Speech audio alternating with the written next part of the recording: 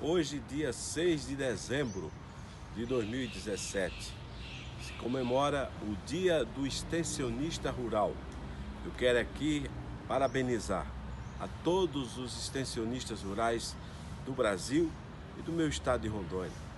Os extensionistas dos órgãos públicos, da nossa querida Emater, da CEPLAC, das outras instituições que trabalham com assistência técnica e extensão rural, da iniciativa privada.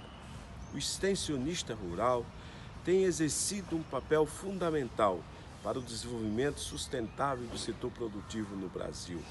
Se não fosse o extensionista rural, não tinha chegado a tecnologia no campo, não tinha chegado o crédito ao produtor rural, não teríamos aumentado a produção que hoje temos no Brasil, passando de 230 milhões de grãos no nosso país. Parabéns, você extensionista rural.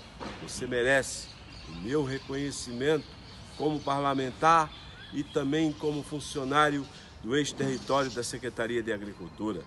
Vamos continuar essa luta. Vocês merecem o nosso reconhecimento. Parabéns pelo seu dia.